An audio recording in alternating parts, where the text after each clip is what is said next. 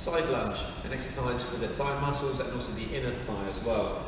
All come with different attachments. Uh, I've set this one up so it's the right height for me. It might take a little bit of messing around with your own kit to make sure they're right for you. Uh, I'm going to stand back to you and I apologise for that, but it's easier for me to demonstrate technique in this position. Start my feet uh, a good width apart.